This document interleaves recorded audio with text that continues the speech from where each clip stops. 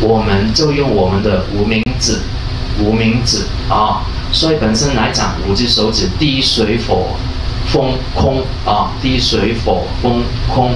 所以关于水的东西都是用水指啊，水的指去点，然后去淡啊。这个重点是这样。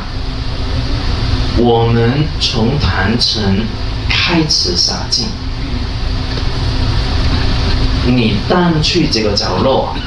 这个角落就变成一片白色的一片光明。你再淡去第二个角落、第三个、第四个这样淡，这每一片每一片白色的光明。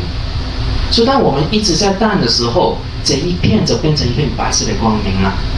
这一直淡一直淡的时候，一个房间清净完，就去了另外一个房间。楼梯、洗手间、床、衣柜等等，都通通清净干净了。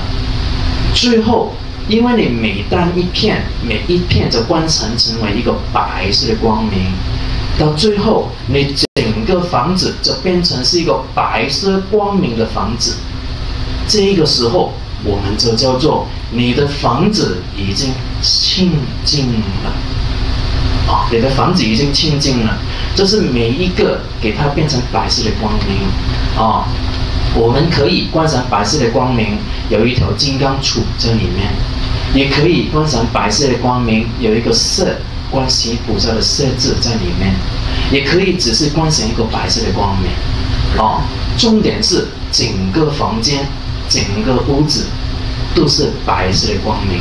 那这个白色的光明就代表我们的房子已经清净了。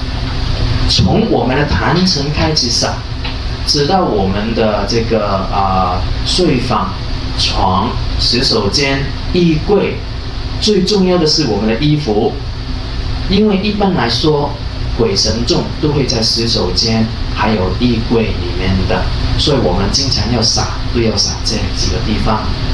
到最后的时候，在我们的后门，或者是如果没有后门的，话，就是正门呐，把这个水堵出去。